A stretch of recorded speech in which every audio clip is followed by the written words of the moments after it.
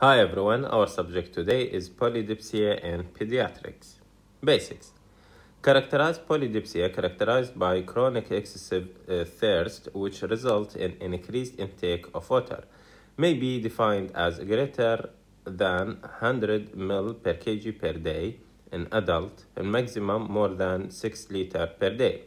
Polydipsia often leads to polyuria, a condition characterized by increased frequency of urination.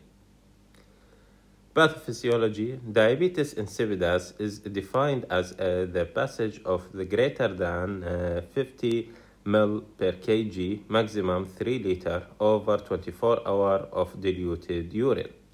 Urine osmolality less than 300 milliosmol per liter. Etiology can be central neurogenic or peripheral nephrogenic. Central diabetes insipidus is characterized by a decreased secretion of antidiuretic hormone ADH. Nephrogenic diabetes insipidus is characterized by resistant to ADH. With sickle cell disease, sickling a renal medulla results in inability to concentrate urine. Primary polydipsia is related to excessive fluid intake and is not a problem with the uh, antidiuretic hormone. History General history, onset of symptom, acute, chronic, recurring, quantity of fluid taking each day, any unusual method for uh, satiety, nighttime awaking to urinate, drink, usually absent in psychogenic polydipsia, history of poor growth and or development, prior episode of severe dehydration, recent head trauma or neurosurgery, history of seizure, chronic medical problems like sickle cell disease, chronic kidney disease, diabetes mellitus, physical examination, general complete examination, often normal, abnormally sleep or lethargic, assessment of volume status, sunken eyes, a dry mucous membrane, reduced tears, weak pulses or prolonged capillary refill. Diagnostic test and interpretation, initial lab test, complete electrolyte and metabolic panel urine analysis, fasting blood glucose and hemoglobin H, uh, hemoglobin A1C, plasma and urine osmolality, plasma and urine electrolyte. 24-hour urine collection can be used to measure degree of polyuria as measured of intensity of polydipsia. Neuroimaging CT or MRI is uh, if intracranial abnormalities suspected. Water restriction test can be performed to evaluate for diabetes insipidus. Exogenous antidiuretic hormone can be administered to patients with the suspected nephrogenic diabetes insipidus.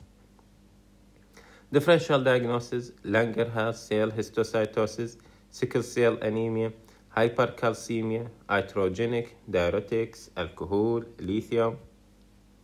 Treatment with the pre-hospital uh, like uh, uh, blood glucose uh, control, intravenous fluid if dehydrated, medication for central diabetes insipidus, DDAVP,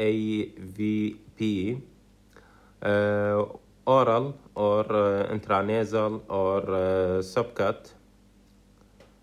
Okay, low uh, another uh, treatment with the low solute diet, hydrochlorothiazide, breast milk preferred to formula.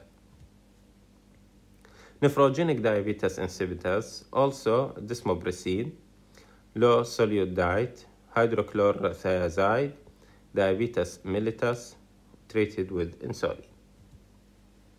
Admission criteria, inpatient ward admission criteria, new onset diabetes mellitus or insipidus, significant electrolyte abnormality, significant dehydration, critical care admission criteria, altered mental status, diabetic ketoacidosis, and severe electrolyte abnormalities. Issue for referral, polydipsia following neurosurgery should be followed by the neurosurgical team. A new diabetes mellitus or insipidus diagnosis should be admitted to the hospital for further management and education. A new psychogenic polydipsia diagnosis should be referred to the psychiatry for evaluation of the underlying mental health issue. Peers and pitfall. The most common cause of polydipsia is diabetes mellitus. Water deprivation tests are not performed in newborn or very young infant. Patient may present to the emergency department with seizure, coma, or sign of cerebral edema. Neonates do not have an intact thirst mechanism, making management difficult. Response to desmopressin does not always differentiate central and nephrogenic diabetes insipidus. Thank you for your listening.